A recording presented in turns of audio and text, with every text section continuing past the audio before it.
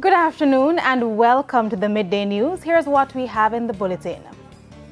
Constable Noel Maitland's bail application denied. Custos calls for the instilling of moral values in a bid to fight crime scourge. And later in sports, Pakistan's home series against West Indies early next year likely to be postponed. I'm Kelisha Williams, and here are the details. Constable Noel Maitland, who is charged with the murder of his girlfriend Donna Lee Donaldson, was this morning denied bail when he appeared in the Home Circuit Court. Justice Vinette Graham Allen, who is presiding over the case, denied the application on the basis that the court is satisfied that there are substantial grounds for believing that Constable Maitland would fail to surrender to custody and that he will interfere with witnesses. Maitland was arrested on July 27 following the disappearance of 24-year-old Donaldson, who was last seen at his New Kingston apartment on July 11. She was reported missing on July 13. He was subsequently charged with murder after investigators reported that they had collected forensic evidence in the apartment pointing to her death. Maitland is to return to court on February 9, 2023 for a plea and a case management hearing. Meanwhile, relatives and friends of Donna Lee Donaldson who were at court reacted to the bail denial. The placard-bearing group broke out in song, indicating their approval of the judge's ruling. Since Donna Lee went missing in July, they have been very vocal, staging protests demanding answers. Donna Lee's mother, Sophia Lugg, says the ruling has restored her faith in the justice system. Justice, work our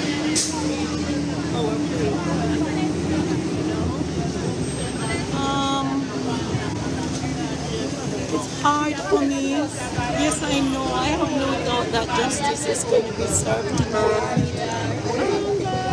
But what really have me feeling this sad, the fact that I still have no closure where my daughter is.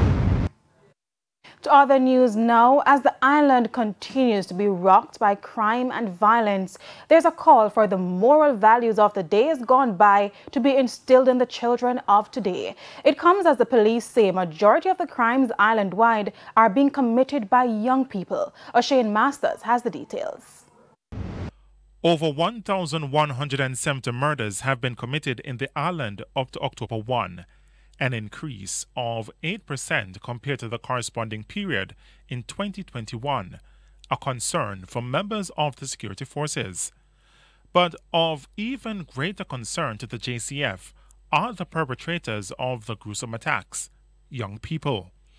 It's why Custos of Trelawny, Hugh Gentles, is calling for the return of earlier years where moral values were instilled in children. His comment comes on the heels of four children ages 15 to 17 years being found at a party with gangsters last weekend in the parish. We need to go back to the values that we had as a society years ago of discipline, of, of courtesy, these are some of the, values that we have lost, I think, a lot, a lot of it in the society. But I would hasten to add that in all of this gloom, it is a minority that is creating all of this mayhem. The vast majority of, Jama of Jamaicans are law-abiding, peaceful people and decent human beings. He's also calling for parents to provide greater oversight of their wards, warning that the government will have to step in if there is no parental guidance. In the meantime, he says the justices of the peace in the parish have been given a charge to help in ridding the parish of crime and criminal elements.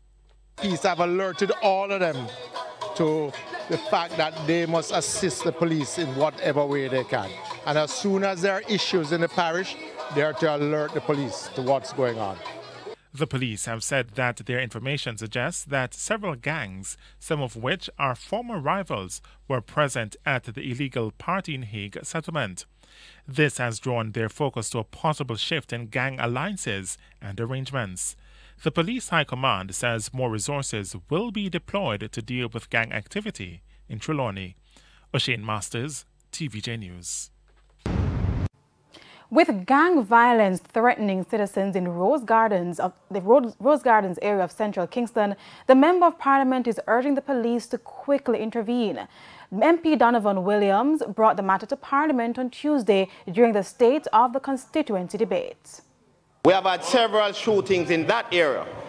We're asking that priority attention be given to that area and if possible, the extension of the ZOSO there it's a relatively small area, but it would appear that there's a bit of gang feud in the space, and unless the security forces take full control of it, it will continue unabated. The law-abiding citizens are spoilers, Rose Gardens. I'm just saying that so we can identify, because some of us call it by that name, need to be able to live in their community in peace. A zone of special operations is ongoing in the nearby community of Parade Gardens, but for the Allman Town area, car theft is on the increase.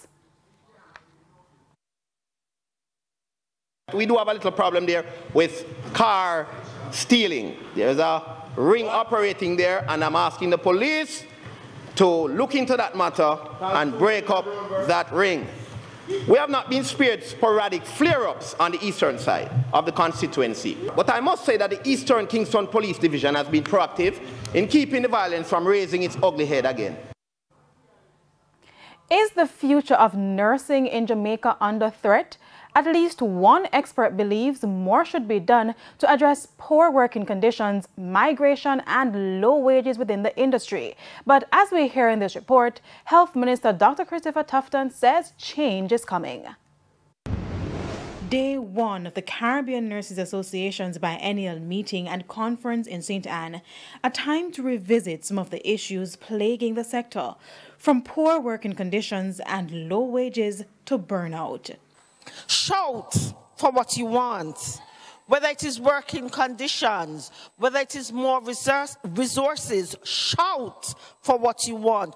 Don't let anybody tell you that money is not important, because it is. As frontline healthcare workers, concurrently responding to the regular call of duty, and also addressing health threats, it is important to remember self care. There's a common saying you cannot pour from an empty cup. Dr. Emily Dokubo is the director of the U.S. Centers for Disease Control and Prevention Jamaica, Caribbean, and Regional Program. She outlined how important the well being of nurses is in effectively delivering health care. But in recent times, nurses in the region have been leaving in droves in pursuit of jobs overseas. There are more than 5 million nurses working in various health aspects of the health sector in the region of the Americas, with Latin America and the Caribbean accounting for approximately 2 million. It is necessary that countries in the Caribbean have adequate distribution of this core public health group in order to meet the needs of the region's 40 million people, and those numbers are based on estimates from the United Nations. So how do we retain nurses in the region? Health Minister Dr. Christopher Tufton, who was also at the conference, had this to say. We are saying, listen, how do we train to expand the cadre of nurses or persons within the nursing fraternity, the different levels? How do we negotiate and leverage those who are recruiting nurses, for example, to go abroad?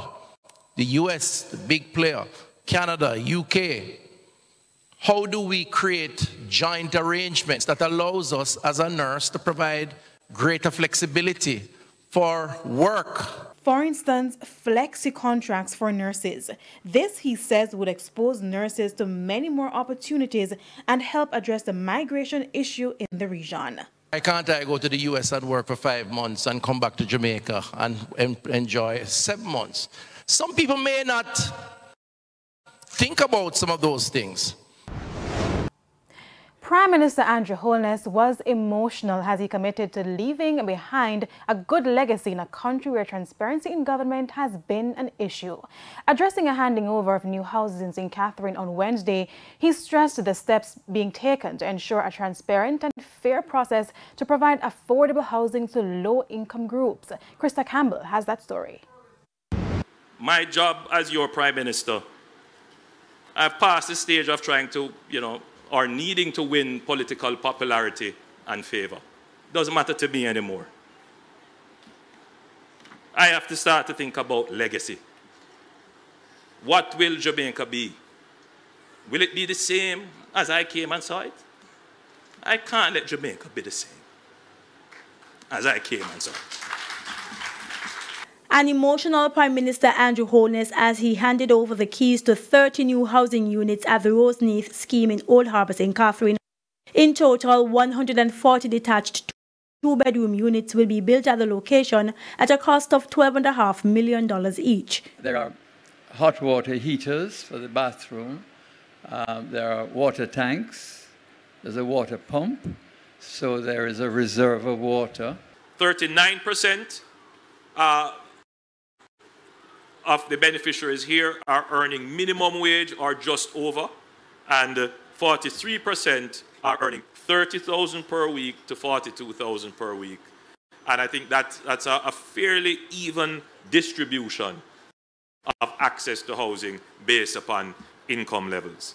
The Prime Minister again stressing that there is no political interference in the selection process for the beneficiaries. You know, people come to me every day, boss, I see a scheme, I go over the, make me get one. And I am very clear to them, I have absolutely po uh, no powers in determining who gets a house that the NHT is putting on the market. I'm very clear with that.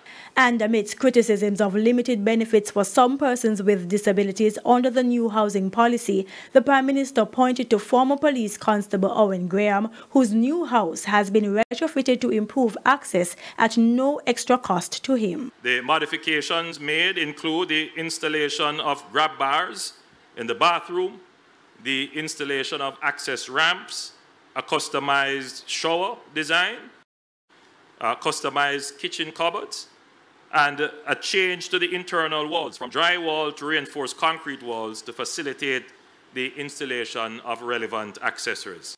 Krista Campbell, TVJ News.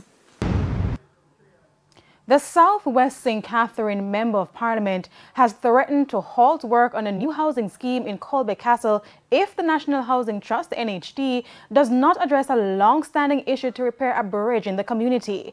He raised the issue at the handing over ceremony for 30 of 140 detached units at the Roseneath Housing Scheme in the constituency on Wednesday.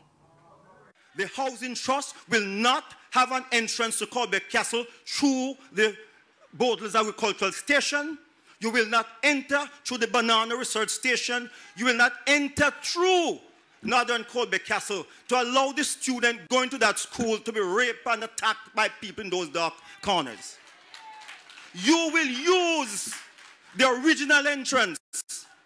You will have to build, build rebuild that bridge to take you into the, the development. The bridge must be rebuilt.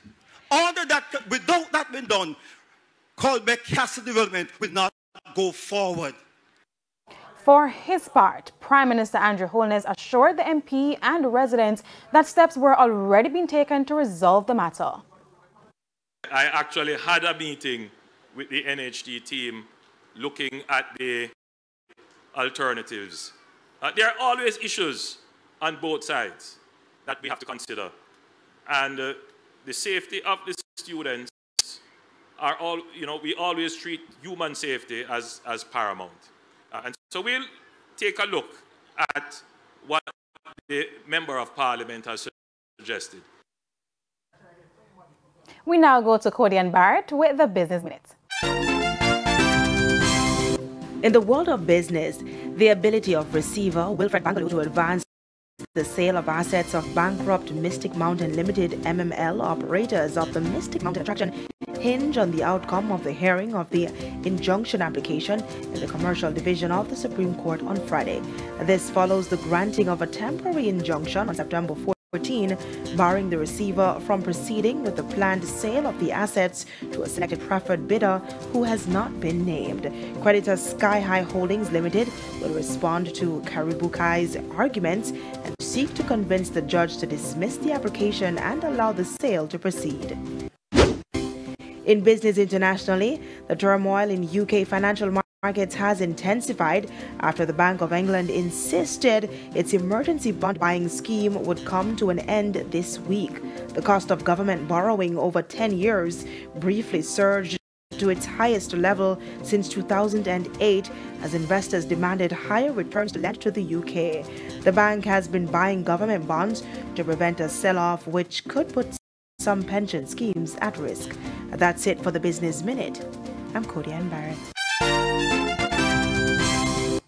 It's now time for the top regional and international stories. Here's Sandy Williams region. The director of the Pan American Health Organization, PAHO, Dr. Carissa Etienne, says the cholera outbreak in Haiti, a steady increase in monkeypox cases, ongoing COVID 19 infections and low polio vaccination rates heighten the need for health emergency preparedness in the region of the Americas. Regarding the monkeypox virus, Dr. Etienne says the Americas has now reported over 45,000 cases, accounting for 63% of the global total. Dr. Etienne also made a renewed call for countries to act on polio by increasing vaccination coverage and surveillance. She said four countries in the region, Brazil, the Dominican Republic, Haiti, and Peru, are at very high risk of polio transmission, with another eight being considered high risk. On the international scene, India's Supreme Court has delivered a split decision on a hijab ban in classrooms in the southern state of Karnataka. A lawyer representing one of the petitioners described it as a divergence of opinion. The case stems from petitions filed by Muslim students denying entry to classrooms in multiple state-run schools and colleges in Karnataka since January. A group of six Muslim students staged a peaceful demonstration outside their school for the right to wear the garment. This prompted rival protests from right-wing Hindus, deepening religious tensions in the state. The matter has now been referred to the Chief Justice of India, with a larger bench expected to be formed. But the current Chief Justice retires next month, and it is unknown whether he will address the matter before that happens. And those were the top regional and international stories. I'm Sandy Williams. And that's the midday news. I'm Kelisha Williams. Join us at 7 for primetime news. On behalf of the news, sports, and production teams, good afternoon.